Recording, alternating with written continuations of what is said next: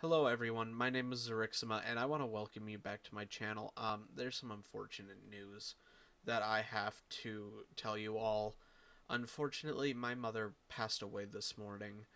Um, she's had uh, medical issues all her life and it's always been rough on her and you know, I guess the best thing that came out of this is that she's no longer in pain.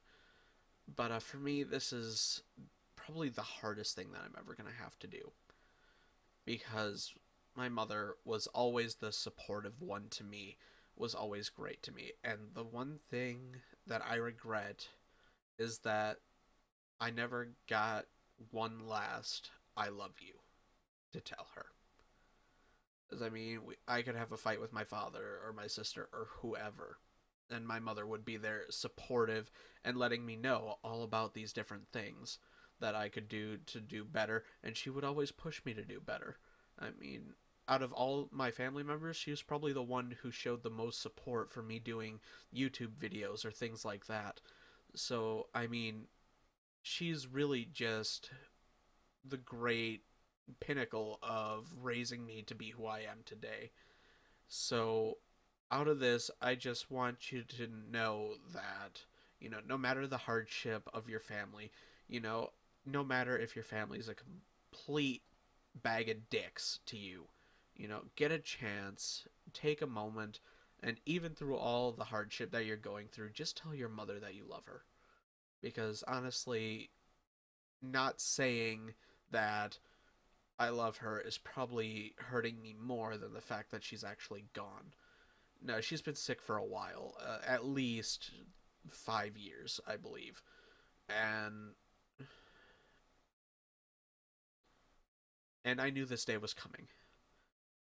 I didn't know when it was going to happen, but I did know that it was coming eventually, and I wanted her to know that everything will be okay even when she does pass. And now that she has, I still want her to know that everything will be okay. And uh, this hurts. It, you can probably tell I've been crying all morning, and this is very rough on all of us here at home. So I just want to take this moment and again say, tell your family that you love them no matter what. Because deep down we all do. And always remember the unspoken rule you do whatever you have to for family. So, because of this event, there's probably going to be a delay in my videos, a delay in my recordings, and probably just a hiatus so that I can grieve and recover from this entire situation. So, with that being said, thank you for being loyal subscribers. If you're new, thank you for joining in. You know, drop a like on one of my videos. It doesn't have to be this one.